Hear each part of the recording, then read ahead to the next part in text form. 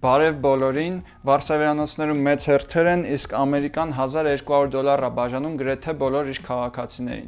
Արդյոք սա լավ մոտեցում է, ինչ կապ ունի սա արժեթղթերի շուկայի հետ ու վերջին հաշվով ով է ամենաշատը շահում այս process-ից։ Նախ այս 1200 դոլարին պետքա նայել ավելի լայն կոնտեքստում։ Մենք գիտենք, որ այս փողը գալիս է ԱՄՆ կենտրոնական բանկի կողմից տպված նոր 6 տրիլիոն դոլարից, ու եթե այդ 6 տրիլիոն դոլարը բաժանում ենք ԱՄՆ բնակչության վրա, որը 330 միլիոն է, ապա ստացվում է, որ ամեն մարդուն հասնում է 18000 դոլար։ Այս 18000-ի չնչին մասը 1200-ը տրվում է քաղաքացիներին, իսկ մնացած ահռելի մասը 90%-ից ավելին տրվում է բիզնեսներին ու մեծ կորպորացիաներին։ Այս 18000 դոլարը ամեն քաղաքացու ապագայից վերցրած փող է, որովհետև բոլորը դրա համար վճարելու են ավելի ուշ ինֆլյացիայի տեսքով։ Այս նոր փողի ստեղծման ու շրջանառության մեջ կարևոր դեր է խաղում արժեթղթերի շուկան։ Հեսա կհասկանանք թե ինչի։ Երբ նայում ենք արժեթղթերի շուկայի հիմնական ցուցանիշներից մեկին, S&P 500-ին, կարող ենք տեսնել, որ վերջի 10 տարում այն աճել է մոտ 4 անգամ։ Բայց եթե վերցնենք այս S&P 500 ցուցանիշը ու բաժանենք իրան շուկայում շրջանառվող դոլարին, M2-ին, կտեսնենք, որ հազիվ թե արժեթղթերի շուկան վերականգնվել է 2008-ի մակարդակին, երբ որ այն ժամանակ տնտեսական ճգնաժամ էր եղել։ Այսինքն արժեթղթերի շուկան ոչ թե աճել է, այլ փողն է էժանացել, դոլարն է արժեզրկվել։ Նոր փողի ստեղծման ու արժեթղթերի շուկայի փոխկապակցվածությունը կարող ենք տեսնել նաև այս գրաֆիկներով։ Երբ կենտրոնական բանկը նոր փող է ստեղծում, դրանով հիմնականում գնում է տարբեր տեսակի ակտիվներ ու ավելացնում է իր սեփական բալանսը։ Այս նկարում կարող ենք տեսնել, որ բալանսը ու արժեթղթերի շուկան շատ բարձր կորելյացիա ունեն ու գրեթե համընթաց են աճում։ Սա հատկապես լավ է երևում վերջին ամիսներին, երբ արժեթղթերի շուկան սկսեց անկում ապրել, իսկ կենտրոնական բանկը սկսեց ահռելի քանակությամբ գումար տպել ու դրան զուգահեռ սկսեց վերականգնվել, նորից աճել արժեթղթերի շուկան։ Բոլորը գիտեն, որ մեծ տնտեսական ճգնաժամ է սպասվում ու բիզնեսների վիճակը լավ չի լինելու բայց միևնույնն է մի հատ մեծ արգումենտ կա արժեթղթերը գնելու համար, այն է կենտրոնական բանկը նոր փող է տպում։ Արժի նաև հասկանալ, թե վերջին տարիներին ինչն է նպաստել արժեթղթերի շուկայի դոլարային աճին։ Դա ոչ թե ներդրումային ֆոնդեր են եղել կամ էլ քաղաքացիներ, որոնք ցանկացել են արժեթղթեր գնել, այլ մեծամասամբ արժեթղթերը աճել են նրանից, որ մեծ ֆիրմաները, մեծ կազմակերպությունները վերագնել են իրենց իսկ արժեթղթերը։ Իսկ ինչի են կազմակերպությունները առհասարակ վերագնում իրենց արժեթղթերը։ Երբ որ կազմակերպությունը աշխատում է ու շահույթ է ունենում, կարող է այդ գումարը հազար ու մի ձև ծախսել։ Կարող է իր աշխատակիցների աշխատավարձերը բարձրացնել, կարող է նոր տեղեր գումարը ներդնել ու նոր շուկաներ գրավել, կարող է այդ գումարը պարզապես պաուստավորել, որովհետև Գուցե մի քանի ամիս հետո շուկայի վիճակը այնքան էլ լավ չլինի ու պետք լինի մինուսով աշխատել։ Բայց բազմաթիվ կազմակերպություններ մեծ գումարներ են ծախսել իրենց իսկ արժեթղթերը գնելու վրա, ինչով բարձրացրել են արժեթղթերի արժեքը ու նաև դրանով նպաստել են նրան, որ այդ արժեթղթերը ունեցող մարդկանց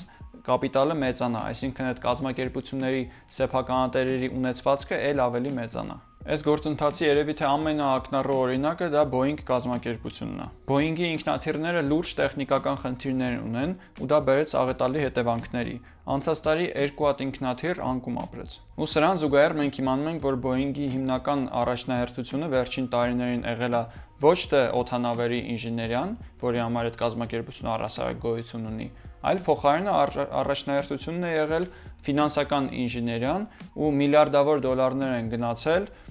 դիվիդենդների ու արժեթղթերի վերագնման վրա։ Այսինքն փաստացի իրենց սեփականատերերին հարստացրել է Boeing-ը։ Օթանավերի վրա աշխատելու փոխարեն Boeing-ը գումարները ուղղել է իր սեփականատերերին հարստացնելու վրա։ Ու հիմա երբ օթանավերի ինդուստրիան կատվածար վիճակում է,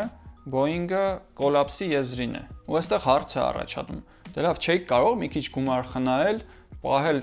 սևորվա համար, որ եթե մի բան այնպես չգնա, մի քանի ամիս գոնե կարողանանք գոյատևել։ Ու այս պարագայում հաշվի չառնելով կազմակերպության նախկինում գործած սխալները, ԱՄՆ կառավարությունը այնուամենայնիվ ասում է, որ պետք է պաշտպանել մեր տնտեսվարողին, մեր կարևոր նշանակություն ունեցող բիզնեսին, իսկ այդ պաշտպանելը մենք գիտենք ինչ տեսքով է լինելու, ուղղակի միլիարդավոր դոլարներ այնտեղ ուղղելով։ Ճգնաժամային վիճակներում ամենամեծ վտանգի տակ են նաև լինում բանկերը։ Բայց միևնույն է 2019 թվականին խոշոր բանկերը ավելի քան 100 միլիարդ դոլար են ծախսել իրենց իսկ արժեթղթերը գնելու համար։ Իսկ երբ որ գա բանկերի համար ամենադժվար ժամանակաշրջանը, որը ոչ թե տարիներ հեռու այլ արդեն ամիսներ հեռու, այդ ժամանակ գիտենք թե ինչա տեղի ունենալու, երբ երբ որ բանկերը կանգնած լինեն կոլապսի առաջ, կառավարությունը 2008 թվականի նման նորից ահռելի գումարներ կտրամադրի այս բանկերին, որպեսզի նրանք չփլուզեն ամբողջ ֆինանսական համակարգը։ Ու ոչինչ, որ վերջին տարիներին այդ բանկերը արդեն բավականաչափ արժեթղթեր են վերագնել,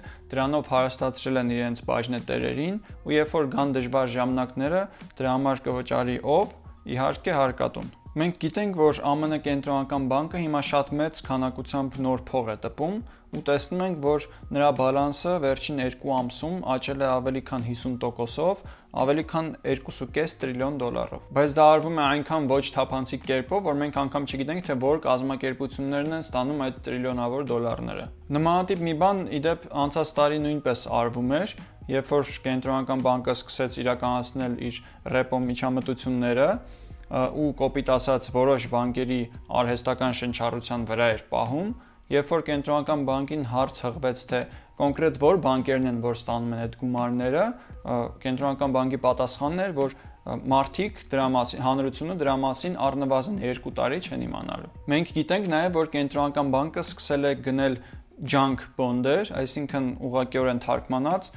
աղբ պարտատոմսեր Ինչու են այս պարտատոմսերը աղբ կոչվում, որովհետև ֆինանսական հաստատությունների կողմից դրանք գնահատվել են որպես ոչ ներդրումային, շատ ռիսկային, այսինքն այդ կազմակերպությունների աշխատանքի մեխանիզմների ու հիմքի վրա շատ մեծ կասկածներ կան ու արդարացված չի դրանց մեջ ներդրումներ անելը։ Դու չգիտես այդ գումարը հետ կստանաս թե չէ, բայց այնուամենայնիվ կենտրոնական բանկը գալիս է եւ գնում է դա։ Կապիտալիզմի ամենահիմնարար սյուներից մեկը դա ազատ մրցակցությունն է Իսկ ազատ մրցակցության ամենահիմնարար հենասյուներից է ձախողման ինստիտուտը։ Ձախողումն է, որ բիզնեսներին պատասխանատվության է կանչում, դուրս է մղում նրանց շուկայից ու ստիպում է դասեր քաղել։ Հիմա փաստացի կան կազմակերպություններ, որոնք իրենց չեն արդարացնում ու ճանաչված են որպես ոչ ներդրումային բայց կա նաև մի հաստատություն, որը օթից փող է տպում ու այդ փողերը ուղղում է դեպի այդ կազմակերպությունները։ Սա ընկերներ ջան, կապիտալիզմ չի։ Սա կենտրոնական կառավարում է ու սա սոցիալիզմ է։ Ու այս թվիթում շատ դիպուկ է ասվում, որ լավ ժամանակներում մենք կրոնապաշտ կապիտալիստներ ենք, իսկ երբ որ բաց ժամանակներ են, դեմ չենք, որ մի քիչ սոցիալիզմ լինի։ Բայց հենց այս մի քիչ սոցիալիզմն է, որ վճռորոշ դեր է խաղում։ Կարող ես դու 10 տարի ազատ շուկա խաղալ, կապիտալիզմ խաղալ ու ցույց տալ, որ ազատ մրցակցություն է քո երկրում, բայց երբ որ ճգնաժամային ու վճռորոշ ժամանակ է, այդ ժամանակ եթե դու օգնում ես այն տնտեսվարողներին, որոնք իրենց չեն արդարացնում, դու խաթարում ես ազատ մրցակցությունը, դու անարդարություն ես ստեղծում։ Դու խրախուսում ես արդյունավետ չլինել։ Դու խանգարում ես արդյունավետ բիզնեսին ու խթանում ես անարդյունավետությունը։ Ու այս ամբողջ պատմությունը շատ լավ ամփոփվում է այս մի նկարով, որը ամենահայտնի ֆինանսական հաղորդումներից է Ամերիկայում, որտեղ կանաչով կարող եք տեսնել, որ ասվում է սա արժեթղթերի շուկայի ամենալավ շաբաթն է վերջին 100 տարվա մեջ, իսկ վազող տողով տեսնում ենք, որ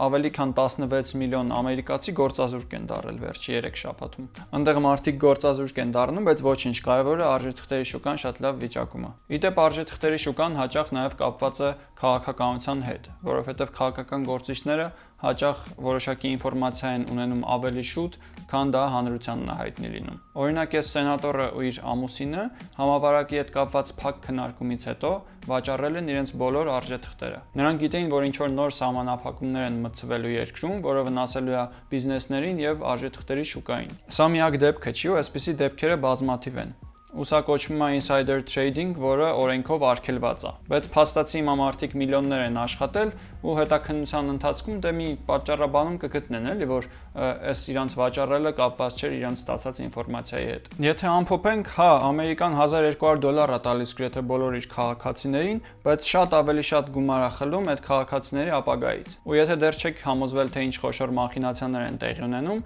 այս վերջին փաստը երևի թե համոզիչ կլինի։ Ամերիկայում արդեն 30 միլիոն մարդ գործազուրկ է, որը ամբողջ աշխատուժի 18%-ն է։ Տնտեսական ճգնաժամից կարծես թե պետքա տուժեին բոլորը, բայց արի ու տես, որ միլիարդատերերը ել ավելի հարուստ են դառնում։ Վերջին 2 ամսում միլիարդատերերի ունեցվածքը աճել է մոտ 10%-ով կամ 308 միլիարդ դոլարով։ այս ժամանակաշրջանում, երբ համատարած կերպով փող է բաժանվում կորպորացիաներին,